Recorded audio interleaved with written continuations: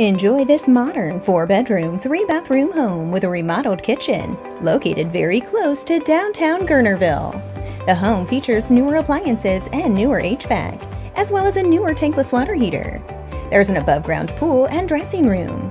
Adjacent to the main house is a carport and separate heated bonus room, currently used as an office. In addition, there's a very large three car garage or workshop in a separate newer building. Its second floor study is set up as a gym and includes a sauna and weight machine, which are included in the sale. Come see your new home today with Jim Laufenberg.